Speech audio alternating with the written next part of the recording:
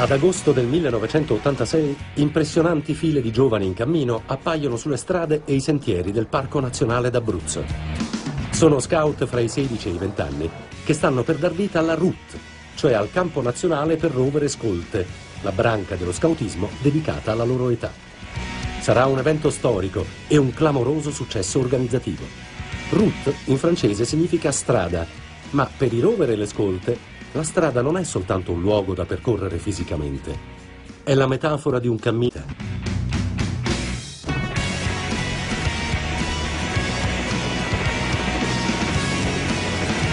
Un elicottero dell'aeronautica italiana, con i colori bianco e giallo della città del Vaticano, sorvola il Parco Nazionale d'Abruzzo ed atterra ai piani di Pezza.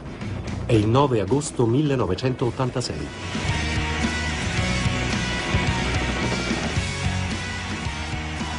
Papa Giovanni Paolo II infrange subito il protocollo e va deciso verso i giovani che lo aspettano assiepati in una meravigliosa conca naturale.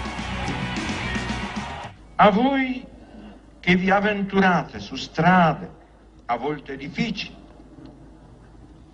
irte di pericoli, sconosciute, l'esempio di Abramo valga come stimolo a costante tenacia e perseveranza, così da non lasciarvi mai sopraffare dagli ostacoli e dallo scoraggiamento.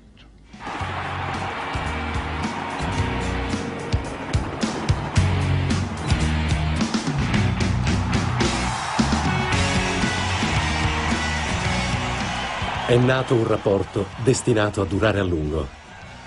Quando nel 2004 avverrà l'ultimo incontro fra Carol Voitila e i ragazzi con il fazzolettone e la camicia azzurra, saranno passati quasi vent'anni.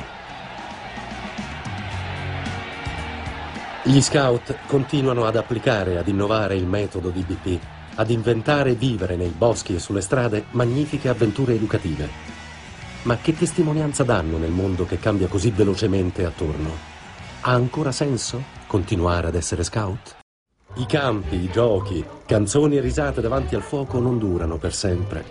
Per molti, come arrivò il giorno della promessa, arriva il momento di un altro rito, chiamato la partenza. E questa volta è un rito di saluto.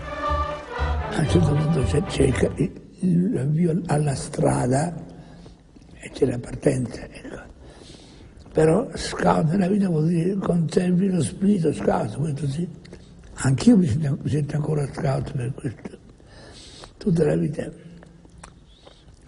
Se mi guardi, io ormai ho 98 anni, se mi guardo indietro mi ricomincerei da capo. Ognuno porta con sé le esperienze che ha avuto la fortuna di vivere in un'età importante.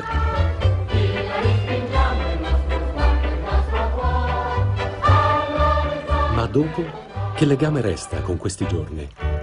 Per quanto tempo dura quella famosa promessa? La promessa scout, dunque, quanto dura come impegno? Come quanto dura? Pochi minuti. Quanto dura la promessa scout? Un bel po' credo. Ah, come impegno dura una vita. So che questa promessa mi accompagnerà fino alla fine. Si vuole dire per sempre. Se do una parola devo mantenere, quindi dura tutta la vita. È retorico però. Tutta la vita o un minuto, insomma, il minuto di dirla e poi tutta la vita.